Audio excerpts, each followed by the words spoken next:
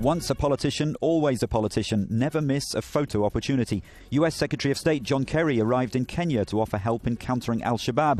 While visiting an elephant orphanage in Nairobi National Park, one almost over friendly young creature provided perfect selfie material. Once a politician, always a politician. Never miss a photo opportunity. US